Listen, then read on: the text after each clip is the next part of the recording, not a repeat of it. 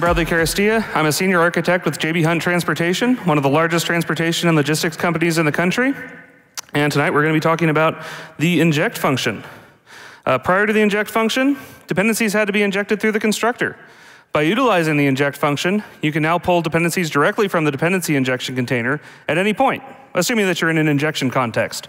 That seems like an excellent ability to have at first glance, but it actually has some significant implications regarding test isolation. For example, as a globally imported function, the inject function is very difficult to mock in tests. Also, because it's how you access the injection container in the first place, an injectable wrapper for it can't be created.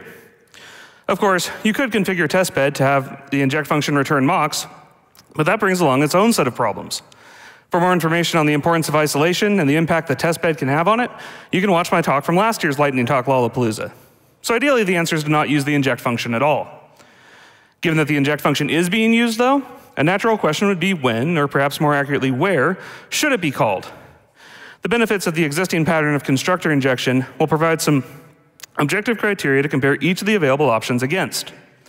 Constructor injection is so named because all dependencies are provided through the constructor, which means that all of them are co-located, so it's easy to tell at a glance what a class depends on. It's easy to mock because you just pass the stubs as arguments to the constructor, and if you miss a dependency, it'll cause an immediate compile time error, as all parameters must be provided for it to compile at all.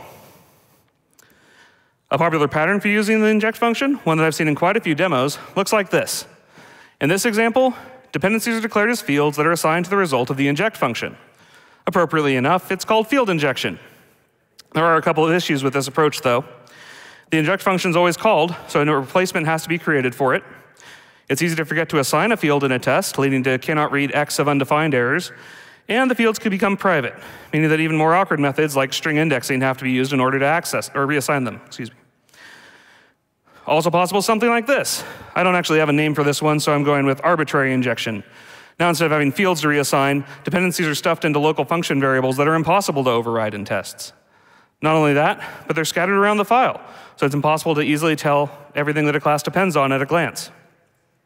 The only way to achieve test isolation with this pattern is to build an inject mock that emulates the real function, which is both complicated and kind of defeats the point of avoiding testbed in the first place. A more palatable solution would be something like this.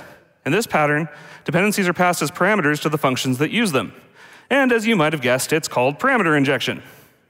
That's quite a bit better, since the parameters have to be included in order for the method call to compile, and it didn't use inject at all.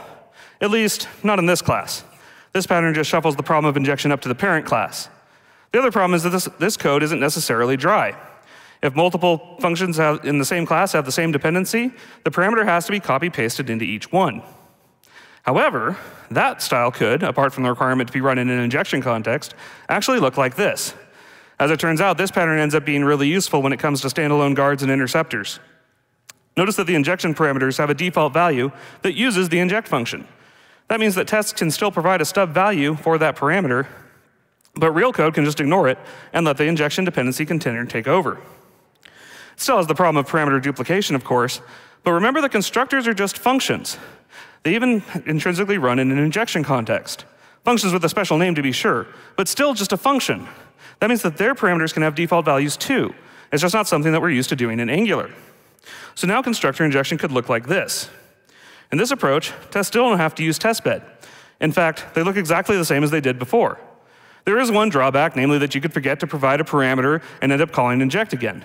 However, if you don't have testbed configured, that would fail immediately and with a clear error message. Using the inject method could become necessary if TypeScript drops support for parameter decorators, as the current ECMAScript standard for decorators does not yet include them.